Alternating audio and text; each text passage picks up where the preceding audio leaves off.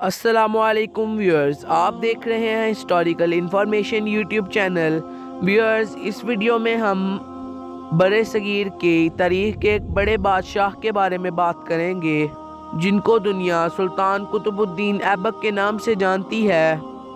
یوں تو برے صغیر میں مسلمانوں کی آمد اور سلطنت محمد بن قاسم سے ہی شروع ہوئی تھی، لیکن برے صغیر کا پہلا مسلمان بادشاہ قطب الدین ایبک ہی ہیں جس نے دہلی میں اسلامی حکومت کی بنیاد رکھی، جو دہلی سلطنت کے نام سے مشہور ہوئی۔ نسلاً آپ ترک تھے، ایک سوادگار اس کو ترکستان سے خرید کر نیشا پور لے آیا تھا اور قاضی فخر الدین عبدالعزیز کے ہاتھوں فروخت کر دیا، جس نے ان کو سلطان شہاب الدین غوری کی خدمت میں پیش کیا۔ سلطان نے کثیر رقم دے کر انہیں خرید لیا۔ آپ شکل سے زیادہ خوبصورت نہ تھے، اس لیے لوگ آپ آپ کو ایبک شل کہتے تھے، جس کا مطلب خستہ انگشت ہے۔ قطب الدین ایبک نے رفتہ رفتہ اپنی صلاحیتوں کا سکہ سلطان پر بٹھا کر اس کا قرب حاصل کر گیا 1192 میں عیسوی میں سلطان محمد گوری نے دہلی اور اجمیر فتح کر کے قطب الدین کو ان کا گورنر مقرر کر دیا۔ اگلے سلطان سلطان نے کنوج پر چڑھائی کی۔ اس جنگ میں قطب الدین ایبک نے اپنی وفاداری اور سپاہ گیری کا ایسا ثبوت دیا کہ سلطان نے اس کو فرزند بنا کر فرما فرزندی اور سفید ہاتھی عطا کیا۔ قطب الدین کو ستارہ اقبال چمکتا گیا۔ اور قطب الدین ایبک برے صغیر کے تاریخ کے بڑے بادشاہوں میں شامل ہوتے گئے۔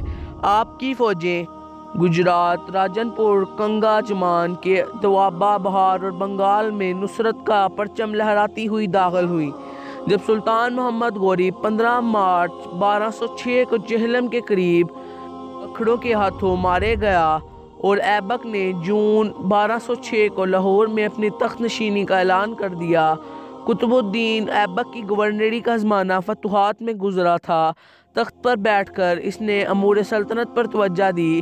اس کا بیشتر وقت امور سلطنت میں گزرتا تھا۔ آپ علم کی نہایت قدر کرتے تھے اور علماء کو نہایت عزت سے ملتے تھے۔ آپ اپنی دانشمندی کی وجہ سے تاریخ میں لکھ بخش کے نام سے مشہور ہیں۔ نومبر بارہ سو دس کو یہ برے صغیر کا ایک عظیم بادشاہ پولو گیم کھیلتے ہوئے گوڑے سے گر کر ہلاک ہو گیا اور ان کا مقبرہ لاہور کے نارکلی بازار میں ایبک روڈ پر واقع ہے۔ یہ مقبرہ حالات کے ہاتھوں برباد ہوتا رہا۔ یہاں تک کہ مہاراجہ رنجیت سنگھ کے دور میں یہ ایک ہندو کی ملکیت رہا اور انگریزوں کے دور میں یہ خستہ حالی کا نمونہ بنا رہا جب پاکستان کا قیام عمل میں آیا، تو پاکستان کے پہلے مارشل لا کے بعد جنرل ایوب خان، بعد ازاں صدر ایوب خان نے حفیظ جلندری، جو پاکستان کے قومی ترانے کے خالق ہیں، ان کے کہنے پر اسے تعمیر کروایا۔ اور یوں آج یہ مقبرہ مجاہد اسلام کی شان و شوکت سنبھالے کھڑا ہے۔